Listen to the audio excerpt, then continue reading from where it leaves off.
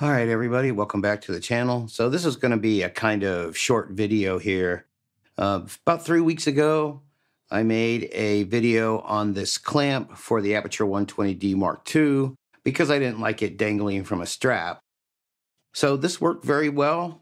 You know, it was nice and secure and I liked it a lot.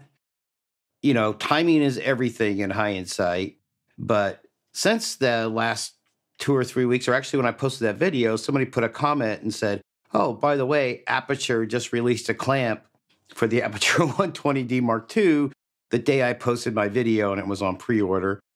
So I ordered one because I like having, you know, the, the nice Aputure clamps for the lights. You know, if you're going to spend that much money on a light, you know, I'm going to spend another 68 bucks on the the clamp itself, you know, to secure it to the stand and make sure it's good.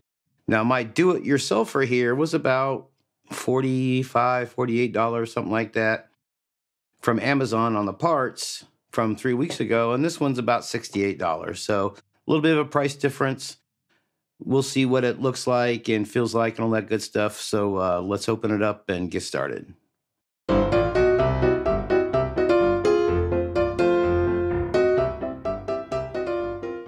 All right, the boxing, unboxing. So don't need the box, get rid of that. And here is the Aputure quick release clamp. So let's go ahead and cut this open. And we'll open it up. I had my knife handy that time for once. So a little gel pack. Don't need that. Wow. I really package this thing.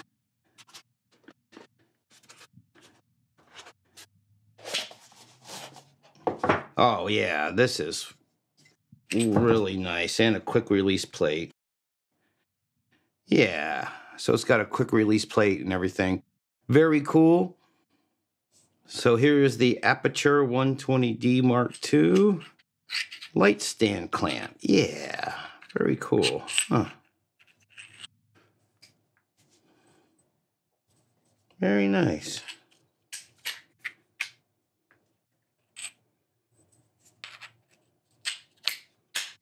All right, just pop it back in there. Here's the clamp. You know, when I go ahead and attach these, you know, we'll go ahead and do some B-roll and all that good stuff. So stand by and let me get this hooked up and show you what it looks like and all that good stuff. But man, this thing's nice and heavy, you know, real nice metal. You know, I like my little do-it-yourselfer, but this is definitely nicer. So let me hook it up and uh, we'll get some shots of it and all that good stuff. Thanks. So stand by.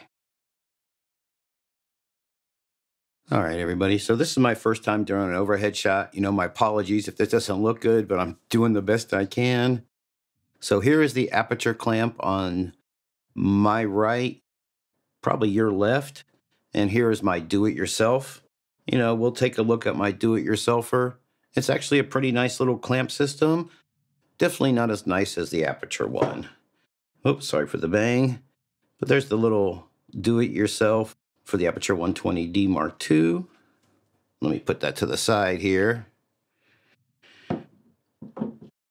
And here's the Aputure clamp, which is very nice. All metal, you know, oops, sorry for the bang.